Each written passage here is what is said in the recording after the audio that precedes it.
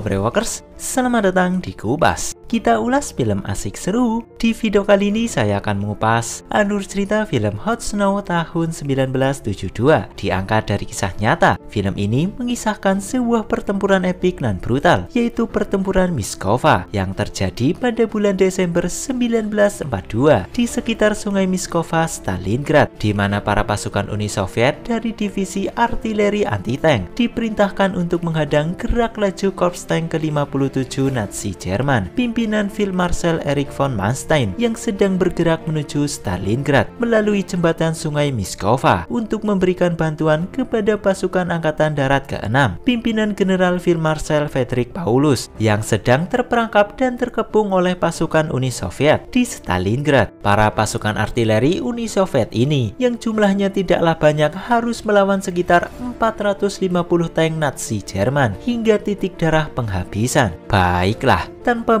berlama-lama langsung saja kita kupas filmnya.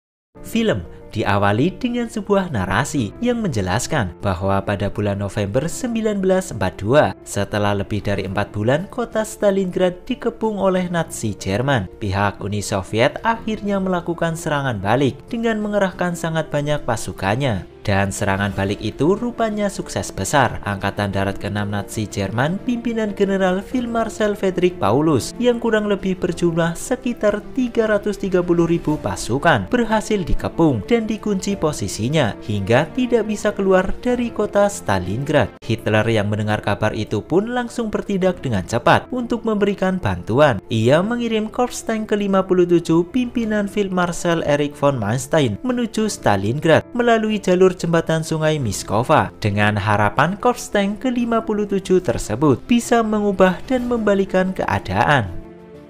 Sin kemudian berpindah menuju para pasukan Uni Soviet dari divisi artileri anti-tank yang nampak tengah memanfaatkan waktu luang dengan bernyanyi dan menari sembari menunggu perintah dari sang atasan untuk bertugas di medan tempur.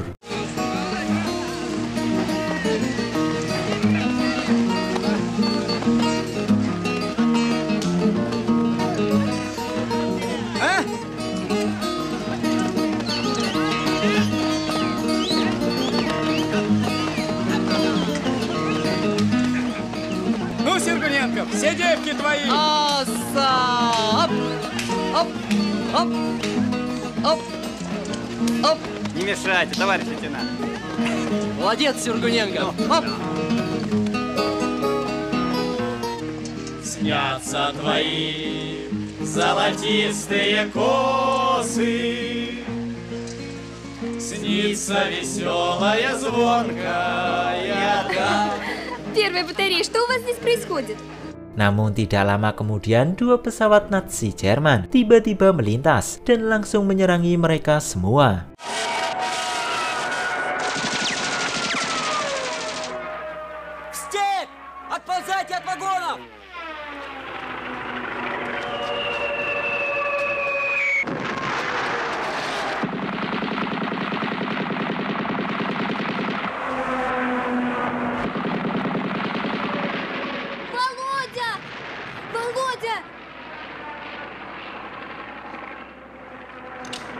Диск кончился. Володя, Володя, прошу тебя, не вставай, Володя, Володя.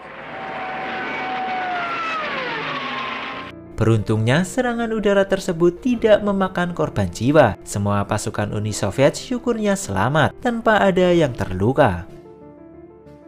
Sementara itu di markas pusat, para perwira Uni Soviet nampak tengah berkumpul untuk membahas situasi terkini di medan tempur, di mana salah satu perwira mengatakan bahwa kondisi pasukan mereka di sisi barat benar-benar berada di ujung tanduk karena ternyata pasukan Nazi Jerman telah berhasil menerobos pertahanan mereka. Keadaan itu tentu membuat para perwira ketar-ketir, terutama bagi Letnan Jenderal Besonov. Ia yang menyadari betul bahwa pasukan Nazi Jerman dari Korps Tank ke-57 pimpinan Marshal Erich von Manstein akan secepatnya bergerak menuju Stalingrad melalui jembatan Sungai Miskova, langsung memerintahkan bawahannya yang bernama Kolonel Deyev untuk mengerahkan divisi artileri anti-tanknya menuju sekitaran Sungai Miskova saat ini juga. Letnan Jenderal Besonov kemudian langsung menyusun strategi di mana ia akan mengerahkan semua senjata artileri untuk menghadang tank-tank Nazi Jerman yang jumlahnya sangatlah banyak. Selain itu, ia juga menegaskan kepada Kolonel Deyev bahwa divisi artileri anti-tanknya harus berjuang hingga titik darah penghabisan dan dilarang untuk mundur apa pun yang terjadi. Mengingat area di sekitar Sungai Miskova adalah area yang sangat penting dan wajib untuk dipertahankan. Singkatnya, setelah mendapat perintah dari Letnan Jenderal Besonov, para pasukan Uni Soviet dari divisi artileri anti-tank langsung bergegas berangkat menuju sekitaran sungai Miskova.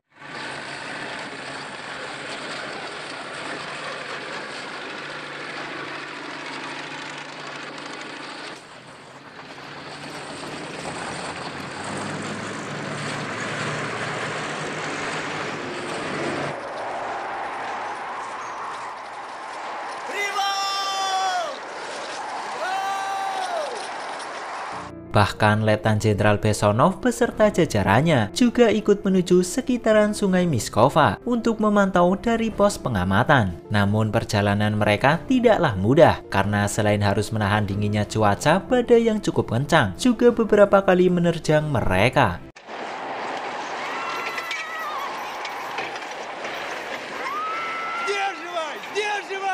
Держите орудие!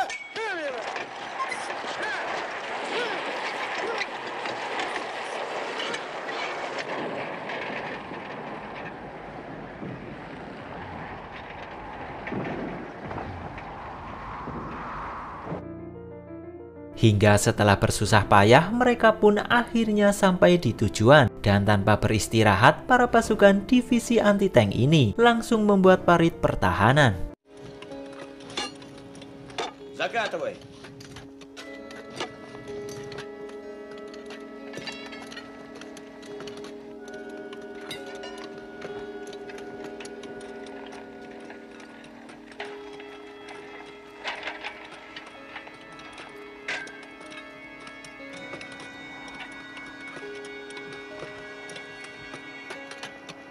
Para pasukan ini rata-rata dipimpin oleh letan muda yang baru saja lulus dari pendidikan dan belum pernah merasakan pertempuran, seperti halnya Letnan Kuznetsov dan Letnan Volodia yang masing-masing memimpin unit ke-1 dan unit kedua. Dalam pasukan tersebut juga terdapat seorang petugas medis wanita bernama Tanya yang merupakan istri dari Letnan Volodia.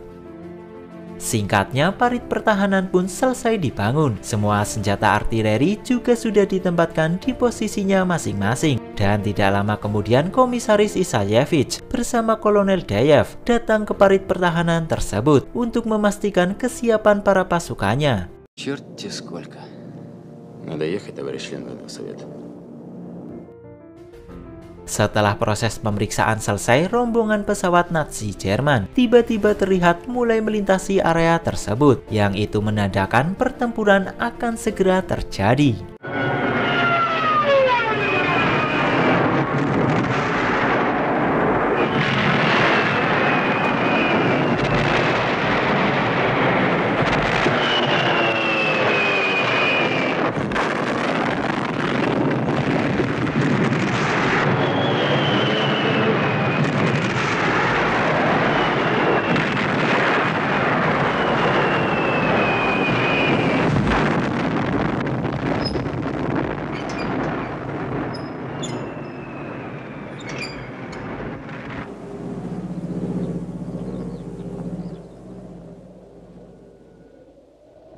Serangan udara itu mengakibatkan dua tentara Uni Soviet tewas, serta lima tentara lainnya mengalami luka yang cukup parah.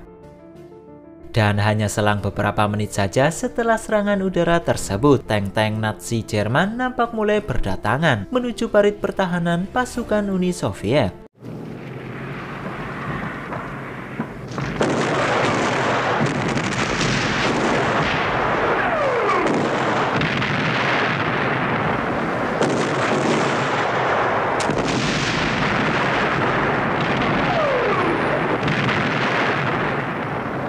Лейтенант, 900 метров! Что же это мы? Мне танков не видно! Мне дым застит! И как второй взвод накрыло! По танкам слева! Наводить в головной! Прицел 12 бронебойным! Прицел 12! Огонь!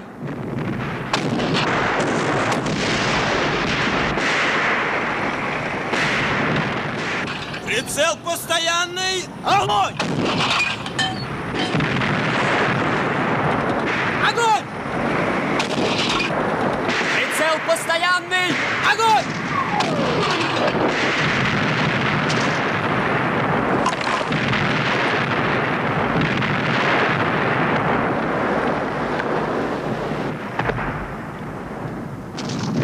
Чубариков! Живой я! Евсегнеев! Евсегнеев! Что, оглушил его? Евсегнеев, наводить можете? Могу я, могу! В ушах заложило! Громче мне команду! Громче! Встать! Все к орудию! Встать! К орудию! Заряжай! Выше! Под срез! Быстрее, Евстигнеев! Беглый! Огонь!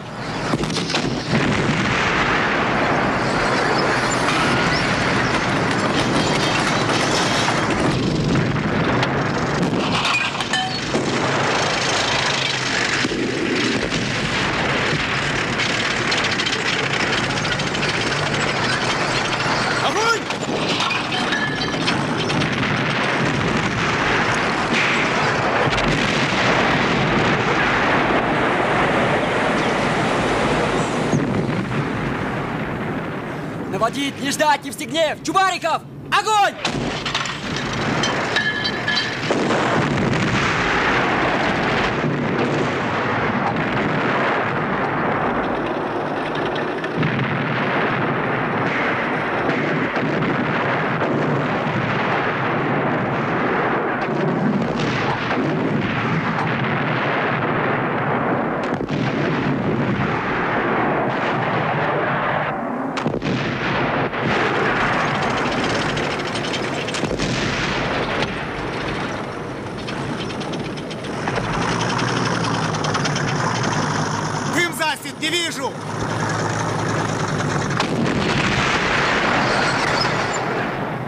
Pertempuran berjalan sangat sengit. Beberapa tank Nazi Jerman berhasil dilumpuhkan oleh pasukan Uni Soviet. Шапку, шапку дайте, голову застужу! Танки слева прорвались! Танки на батарее! Namun meskipun begitu, banyaknya tank-tank Nazi Jerman membuat pasukan Uni Soviet sedikit kewalahan hingga akhirnya sisi kiri parit pertahanan berhasil ditembus.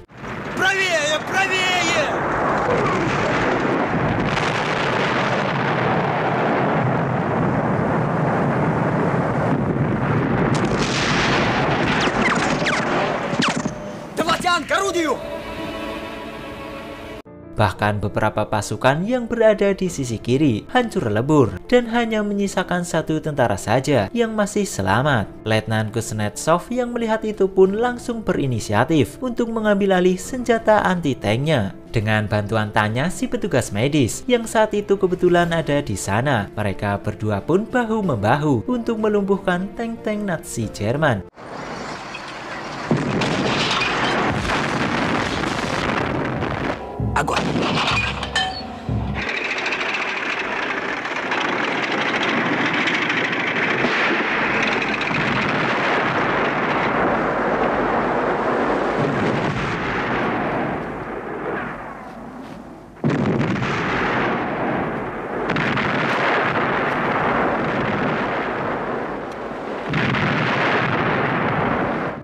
Namun sayangnya, upaya mereka berdua tidak membuahkan hasil dan justru mereka berdualah yang kewalahan menghadapi serangan-serangan dahsyat dari para tank Nazi Jerman.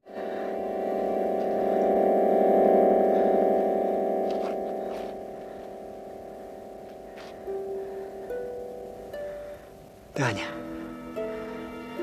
Таня. Sementara itu di pos pengamatan, Kolonel Deyev melaporkan kepada Letnan Jenderal Besonov bahwa kini pasukan divisi artileri anti-tanknya benar-benar berada di ujung tanduk. Sisi kiri dan sisi utara pertahanan sudah berhasil ditembus dan itu memaksanya untuk mengerahkan pasukan cadangan dari Batalion Lapis Baja Koklov. Namun kabar tersebut tidak membuat Letnan Jenderal Besonov goyah. Ia tetap pada pendiriannya dan meminta semua pasukan untuk bertempur hingga titik titik darah penghabisan. Kita kembali lagi menuju parit pertahanan, di mana tank-tank Nazi Jerman seperti tak ada hentinya menyerangi para pasukan Uni Soviet yang sudah babak belur.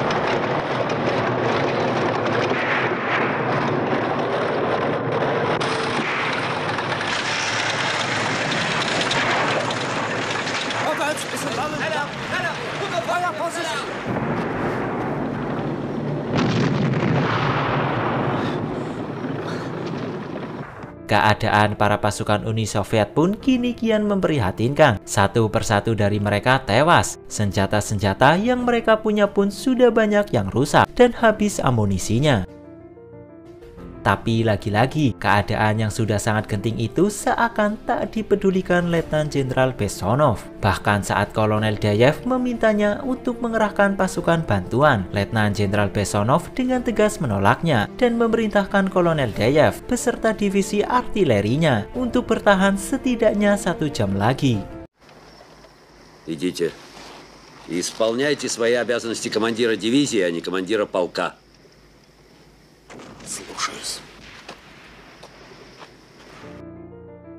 Hingga akhirnya, setelah pasukan Nazi Jerman mulai menunjukkan tanda-tanda kelelahan, Letnan Jenderal Besonov yang mengamati langsung dari pos pengamatan dengan sigapnya memerintahkan Komisaris Isayevich untuk memberitahukan Korpstank agar segera bertindak menyerang pasukan Nazi Jerman. Вот теперь слово за танковым корпусом. Немцы начинают выдыхаться. Как только они замнутся, ударим танковым корпусом. Я прошу вас, я здесь. Генерал Яценко в штабе, а вы поезжайте в танковый. Проследите, они должны вложить всю силу в этот удар. Я все сделаю, Петр Александрович. Выезжаю немедленно. Соедините меня с командующим фронта. Komisaris Isayevich pun langsung bergegas pergi menuju Korpstank dengan ditemani oleh Kolonel Osin beserta Mayor Tiktov. Жми на всю железку. За Титковым он знает дорогу. Все будет в полном порядке. Километра три опасных. Проскочим. Надеюсь. Танки. Немцы впереди. Где какие немцы? Это наши 34-ки. Вперед! Назад! Быстро! Разворачивай! Вниз! В станицу! Назад! Назад!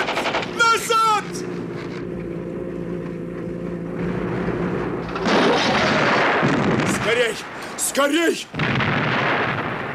Namun naas, di tengah perjalanan mobil mereka dicegat oleh rombongan tank Nazi Jerman yang sedang melintas.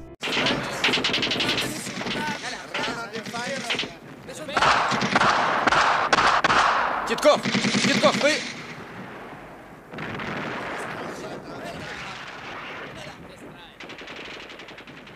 Товарищ дивизионный комиссар! Вас ранило? Куда ранило? Вас. Неужели? Так быстро. Тевков, что с комиссаром? Хоть мертвого, но вынеси тащите за домики!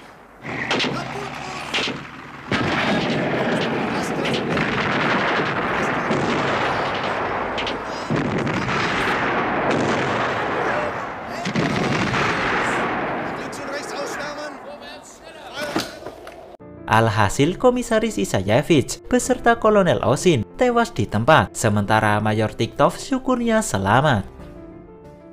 Di sisi lain, tepatnya di parit pertahanan, saat malam hari tiba Letnan Kuznetsov, Letnan Volodia beserta anak buahnya yang tengah berjaga secara tidak sengaja menemukan salah satu tentara pengintai yang nampaknya mengalami luka parah.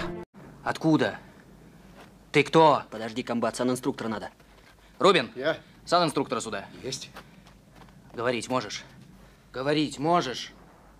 Tentara pengintai itu lantas menginformasikan kepada Letnan Kuznetsov, Letnan Volodia beserta yang lainnya bahwa di sebuah lubang yang kurang lebih berjarak 100 meter dari posisi mereka saat ini ada seorang perwira Nazi Jerman yang berhasil ditangkap oleh rekan si tentara pengintai tersebut. Mendengar hal itu, Letnan Kuznetsov beserta yang lainnya langsung bergegas untuk mengeceknya.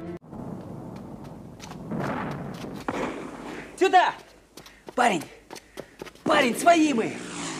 Отпусти ты! Немец. Немец. Как они все о нем беспокоятся. Даже и фриц. А парню вроде хана. Verflucht! Löst die Fessel nicht. Ich bin Offizier. Похоже, не мчишка чин. Вроде как матерится.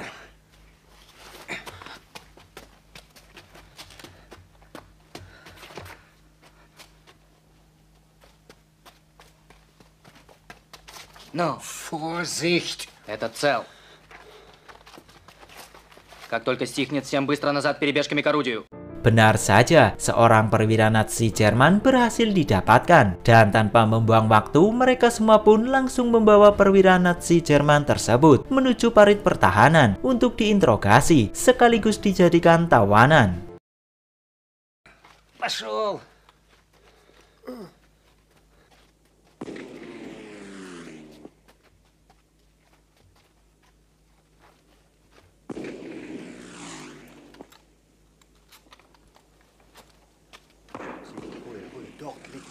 пошел!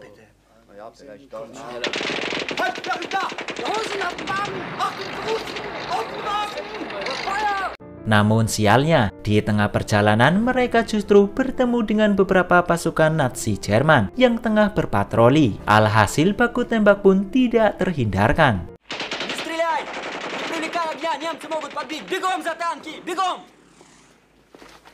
А ну бегом! Ну! Пошел рысью! Naas sekali, baku tembak tersebut ternyata memakan tiga korban jiwa, di mana salah satu di antaranya adalah Tanya, si petugas medis sekaligus istri Letnan Volodia. Таня! Таня! Что ты, Таня? Ранена? Молчит уже. Шапку. Шапку. Ей холодно.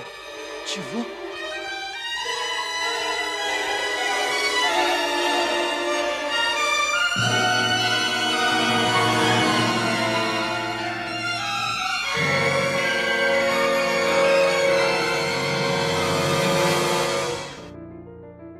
Letnan Volodia yang saat itu juga mengalami luka akibat baku tembak tersebut nampak sangat syok ketika baru menyadari bahwa istri tercintanya sudah tewas.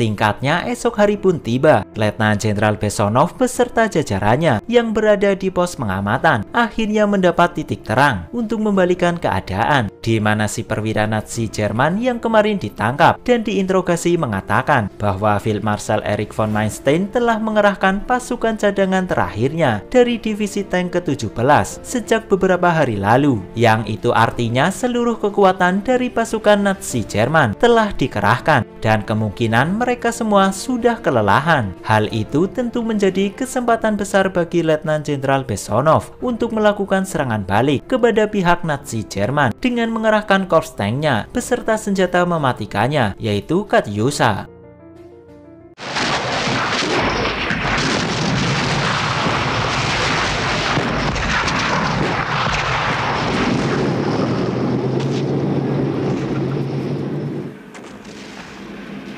Командующий. Товарищ командующий, северная часть станицы полностью очищена. Молодцы. Мои ребята. Мои. Serangan dilancarkan, dan seperti yang diharapkan, serangan tersebut sukses besar. Seluruh pasukan Nazi Jerman dari Korps Tank ke-57, pimpinan Field Marshal Erich von Manstein, berhasil dilenyapkan. Jembatan Sungai Miskova beserta area sekitarnya juga berhasil diamankan.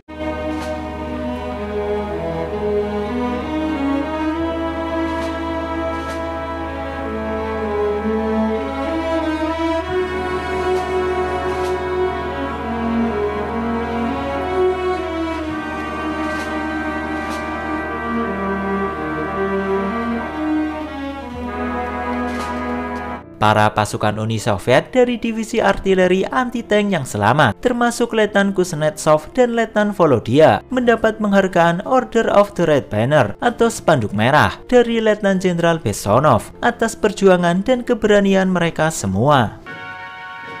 Все, что могу. Спасибо вам. Все, что могу. Все, что могу лично.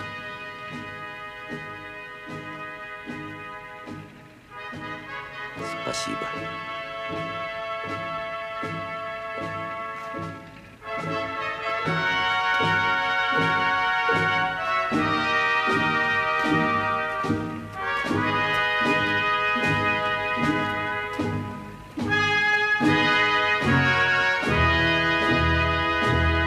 Dan film pun rampung.